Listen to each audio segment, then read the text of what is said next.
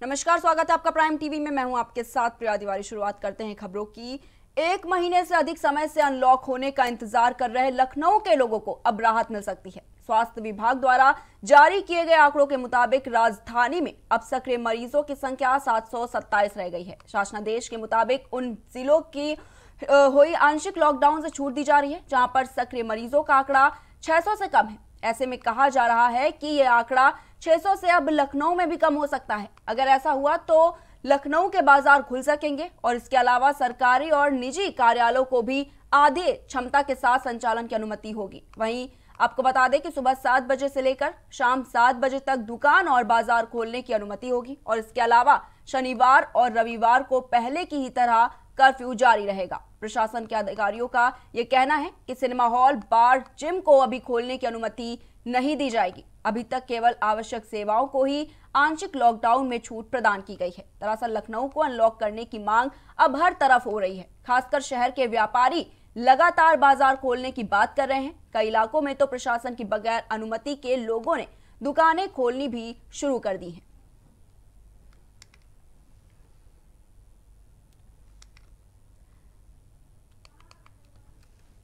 तो इसी खबर पर हमारे साथ हमारे सहयोगी मनीष जी जुड़ चुके हैं। तो मनीष जी, क्या कुछ कहना है? जिस तरीके से अब लखनऊ की बात करें तो उनमें कोरोना के एक्टिव केस 727 तक पहुँच गए हैं। क्या कुछ कहना है आपका इस पे? देखिए, आपको बता दूँ, प्रिया, कि हो सकता है कि आज लखनऊ वासी और गोरखपुर वासियों को अनलॉक कर दिया जाए, जो कि बहुत राहत की खबर होगी। बहुत दिनों से एक मांग आई थी लखनऊ में, आप देखने को मिला था कि कई जगह व्यापारियों ने ज्ञापन भी दिए थे कि उनकी जीविका पे अब असर पड़ने लगा है, उनके ब्रेड एंड बटर को उनकी दिक्कत होने लगी तो अब अनलॉक कर देना चाहिए सारी गाइडलाइंस की, क्योंकि केसेस बहुत कम हो गए हैं। तो आज उन्हें देखने को मिला कि जैसे सात सौ सतहत्तर केस गोरखपुर में छह सौ तेईस थे। तो माना जा रहा है कि आज से ढिलाई देने की काम शुरू का अनलॉक दिया जा सकता है इन दोनों में। हालाँकि मेरठ वासियों को अभी इंतज़ार करना पड़ेगा।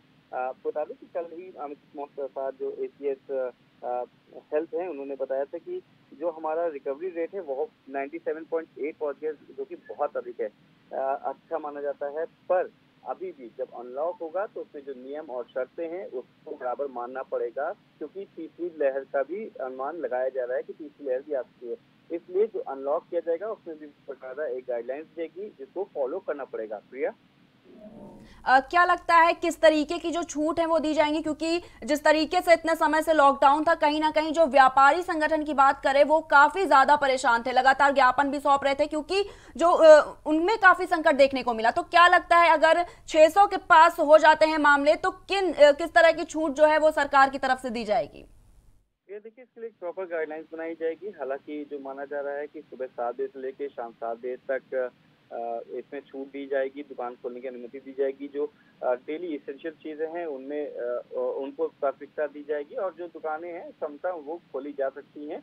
व्यापारी अपनी व्यापार कर सकते हैं, हालाँकि जो साप्ताहिक जो बाजारें लगती थी, जहाँ पे बहुत ज़्यादा भीड़ देखने मिलती थी, उसमें अनुमति नहीं मिलेगी मॉल्स को भी खोलने की अनुमति मिलेगी जिम जो पार्क हैं, उसमें भी अनुमति नहीं मिलेगी, स्कूल कॉलेज और स्कूल कॉलेज एकदम बंद रहेंगे हाँ ऑफ़िस जो निजी ऑफ़िस है और जो सरकारी ऑफ़िस है, उसमें पचास पचास प्रतिशत के साथ खोलने की अनुमति मिल सकती है। लखनऊ में मेट्रो में देखने को मिल सकता है कि पचास प्रतिशत की क्षमता के साथ शायद लखनऊ मेट्रो को भी खोला जा सके। प्रिया?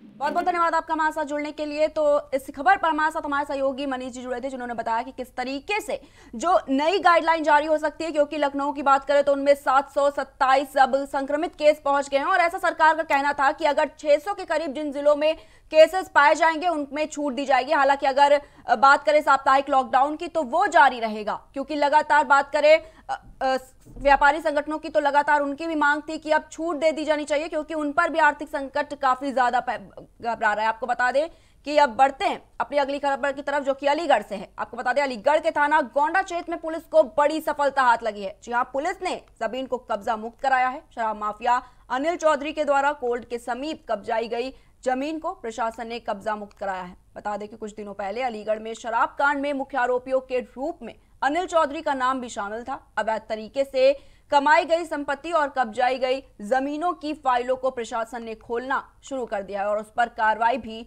शुरू कर दी गई है।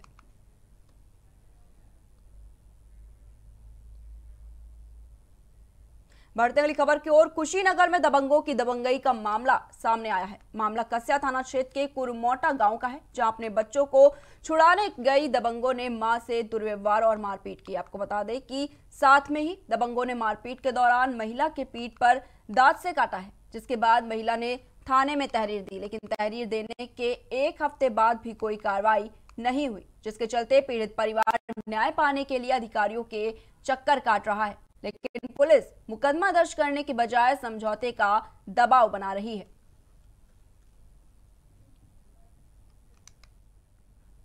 तो कुशीनगर से खबर आपको बता रहे हैं, जहाँ पर कसिया थाना क्षेत्र के कुरमोटा गाँव में अपने बच्चे को छुड़ाने गए दबंगों ने माँ के साथ ही दुर्व्यवहार और मारपीट की। आपको बता दें कि इसके बाद महिला ने थाने में पूरे मामले की तहरीर दी है, लेकिन तहरीर देने के एक हफ़्ते बाद भी कोई कार्रवाई नहीं की गई। जिसके चलते पीड़ित परिवार न्याय पाने के लिए अधिकारियों के चक्कर काट रहा है, लेकिन पुलिस मुकदमा दर्ज करने के बजाय समझौते का लगातार दबाव बना रही है।